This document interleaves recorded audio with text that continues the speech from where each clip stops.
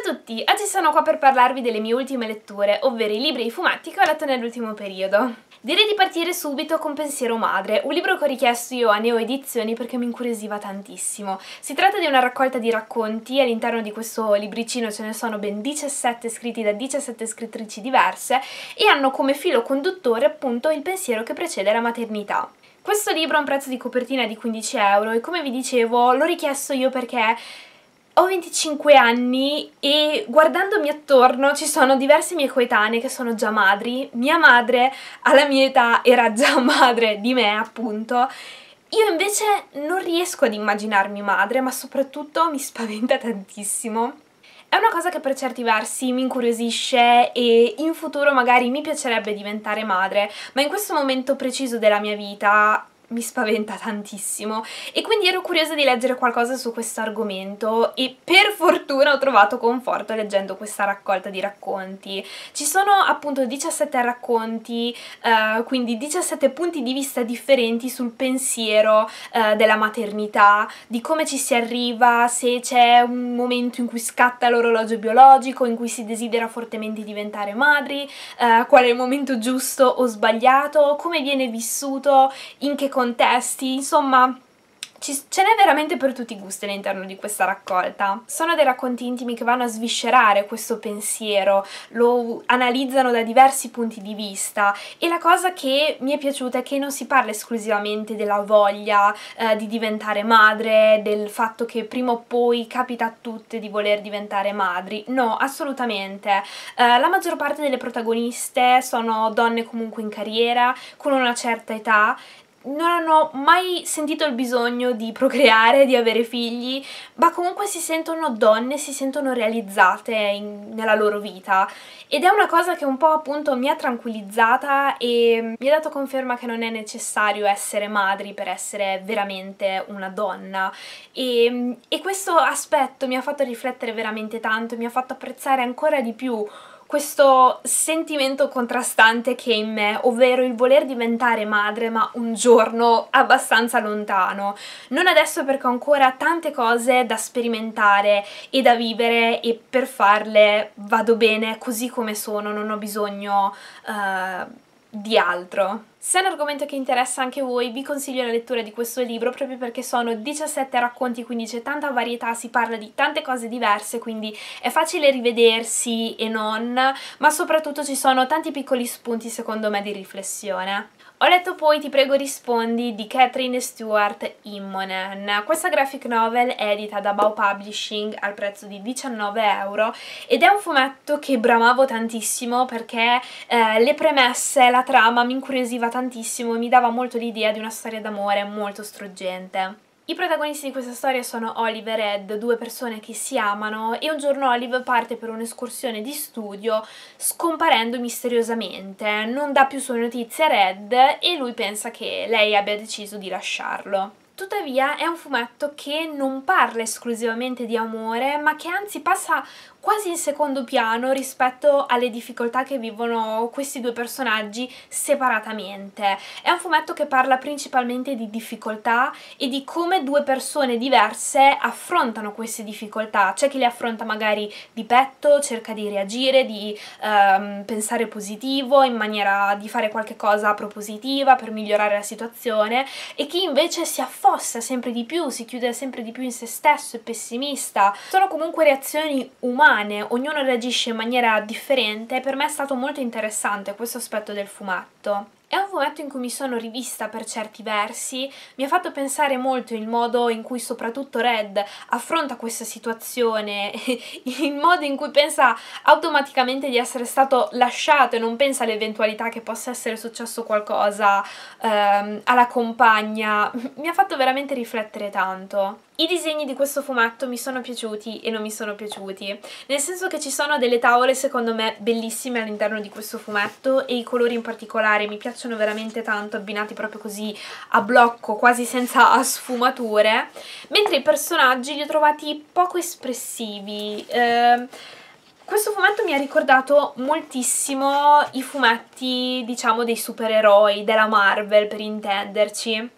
probabilmente perché eh, hanno lavorato questi coniugi all'interno del mondo Marvel, quindi un po' l'influenza di quel mondo secondo me si riflette in questo fumetto. Una cosa che mi ha colpito molto di questo fumetto e che mi ha letteralmente spiazzato è che è come se ci fosse una storia dentro la storia, nel senso che a un certo punto si interrompono i disegni, le tavole colorate e incominciano delle pagine invece semplicemente scritte. Sono dei pensieri che all'inizio ho fatto molta fatica a capire perché mi sembravano un po' deliranti e non stavo capendo dove volessero andare a parare questi autori. Um, alla fine un po' il cerchio si chiude, però mi è rimasto un po' di confusione da una parte, mentre dall'altra ci sono tanti altri input, tanti altri punti di uh, riflessione in questo fumetto tutto, però in generale quando sono arrivata alla fine della storia sono rimasta un po' insoddisfatta. È giunto finalmente il momento di parlarvi di un fumetto che vi sto propinando in tutte le salse, ovvero Solanin di Inyo Asano. Questo manga è composto da due volumi, io purtroppo ho in cartaceo soltanto il secondo, in Italia è edito dalla Planet Manga al prezzo di 7,50€. Questo fumetto è bellissimo, è uno dei manga più belli che io abbia mai letto nella mia vita ed è un fumetto in cui mi sono rivista tantissimo. È un fumetto che parla di un gruppo di ragazzi che hanno terminato l'università e incominciano a lavorare. Con il passare del tempo però incominciano a domandarsi se quello che stanno facendo è veramente quello che vogliono fare per tutta la vita, se eh, quello che fanno li porterà dove vogliono realmente, se è giusto accantonare le loro passioni. C'è un lungo percorso, un sacco di riflessioni uh, sulla propria identità ed è una cosa che ho trovato molto importante in cui, in cui mi sono rivista veramente tantissimo. Mi ha stupito tanto perché raramente mi vedo così perfettamente a fuoco in un'opera, che sia un libro, un fumetto e così via mi ha fatto anche leggermente paura vedere mh, impressi su carta quelli che sono le mie paure o i miei pensieri in generale. Io sto incominciando a conoscere Asano soltanto da poco tempo, ma amo tantissimo il suo modo di raccontare una storia, la filosofia che c'è dietro. E una cosa che mi ha spiazzato molto è che spesso faccio fatica a rivedermi nei manga perché la società giapponese ha dei meccanismi comunque molto diversi dalla nostra cultura occidentale.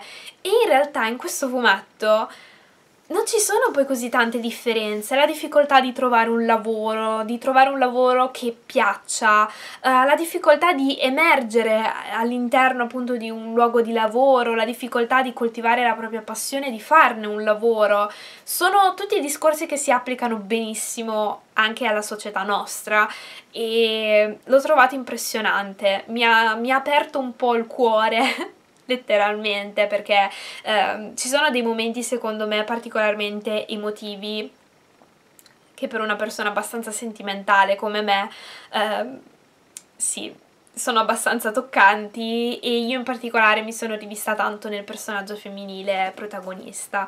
Vi faccio vedere giusto qualche tavola iniziale perché essendo il secondo volume non vorrei rischiare appunto di farvi uh, spoiler. I disegni di Asano per me sono bellissimi perché si avvicinano molto secondo me eh, alla realtà. I disegni non sono per forza belli, i personaggi non sono per forza carini e coccolosi come capita in tanti shoujo, ma sono abbastanza realistici.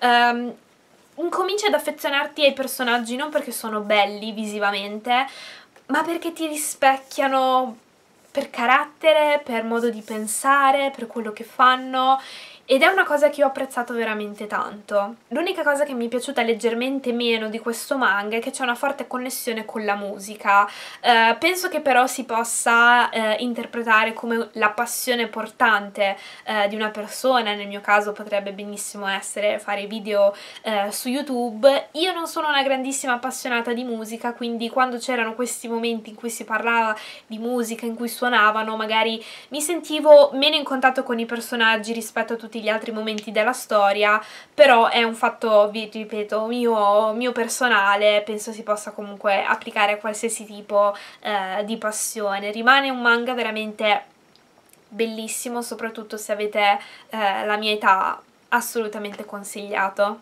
Altro romanzo letto recentemente, Le ragazze di Emma Klein. Questo romanzo è edito da Einaudi al prezzo di 18 euro ed è il libro che avete scelto per la recensione scelta da voi. Quindi qua sul canale trovate un'intera video recensione tutta dedicata a questo romanzo. La trovate nelle schede qua sotto in descrizione. Molto brevemente, questo libro parla di Evie, una ragazza di 14 anni che ha diversi problemi familiari, si distacca dalla famiglia, dagli amici e conosce Suzanne, una ragazza molto particolare che fa parte di una comunità, una comunità eh, composta principalmente da ragazze che ruota attorno a una sorta di, di guru, ovvero Russell. È un libro che parla molto di adolescenza, sessualità, la scoperta di se stessi, il rapporto con se stessi e gli altri. E appunto si va un po' a indagare all'interno di questa comunità in cui le ragazze sono spesso eh, sotto stupefacenti, eh, a volte vengono uh, violentate fisicamente ma anche psicologicamente quindi ci sono tante dinamiche molto interessanti. Io personalmente sono rimasta molto intrigata da questo romanzo. Peccato che verso la fine il mio interesse sia un tantino scemato ho letto poi Ricomincia da qui di Ste Tirasso, un fumetto edito da Bau Publishing nella collana Le città viste dall'alto e a un prezzo di copertina di 16 euro. Questo è il primo romanzo grafico di, di quest'autore che ho scoperto avere la mia stessa età e devo dire che mi ha stupita veramente tanto perché all'inizio avevo una certa idea del fumetto e alla fine mi sono ricreduta tanto. I protagonisti della storia sono Samuele e Franz, due amici di lunghissima data che vivono le loro vite un po' passivamente perché hanno un po' dimenticato dimenticato o abbandonato quelle che erano le loro passioni. E un giorno Franz convince Samuele a partecipare per un'ultima volta al campo scout della loro infanzia, luogo in cui riscopriranno un pochettino se stessi e mm, l'ho trovata un'esperienza veramente molto bella perché diciamocelo, ognuno di noi ha un sogno nel cassetto e pian piano crescendo tendiamo a diventare sempre più realisti, sempre più concreti ed abbandonare quei sogni che ci caratterizzavano da bambini per l'appunto. È un fumetto che fa leva sul cambiamento che vivono questi personaggi.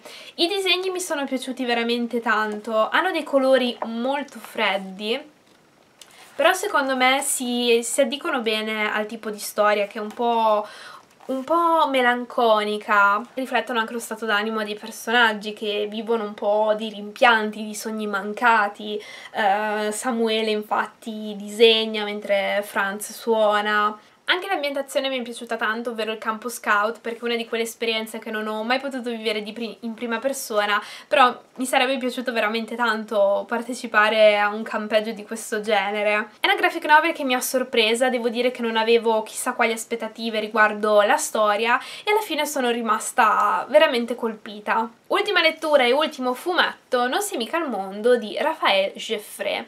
Questo fumetto è edito da Tournois nella collana Tipitondi e ha un prezzo di copertina di 16,90 euro. Questo è un fumetto che mi ha colpita tantissimo, innanzitutto per i disegni.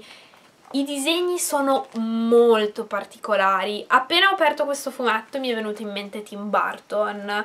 Uh, ricordano secondo me tanto il, il, suo stile, ma in generale la plasticità dei personaggi uh, ricorda molto un film d'animazione.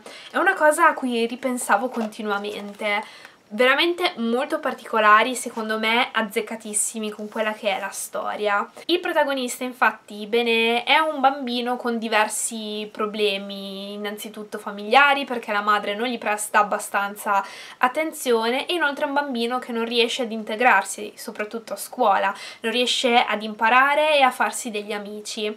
Viene quindi eh, mandato da una scuola all'altra finché non si imbatte in un insegnante abbastanza testarda che si impone punta di voler fare apprendere qualche cosa a questo bambino. È una storia tutt'altro che semplice perché parla di bullismo, difficoltà di apprendimento, irascibilità in particolare nei bambini, ma anche delle criticità spesso degli insegnanti e del sistema scolastico. E mi è piaciuto molto il fatto che l'autore ci abbia messo proprio davanti gli occhi questi problemi senza cercare di addolcirli in alcun modo. Nonostante il suo caratteraccio, Bene rimane pur sempre un bambino con tanta voglia di giocare e di rapportarsi con gli altri altri, tuttavia nessuno gli ha mai insegnato il modo, diciamo, corretto di relazionarsi agli altri, quindi pensa che la violenza eh, risolva tutto. E quindi per certi versi è come se si nascondesse dietro a una maschera, no? Quello del bambino forte che risolve tutti i problemi a pugni, che nessuno gli può dire niente, quando in fondo in fondo vorrebbe semplicemente che qualcuno gli volesse bene,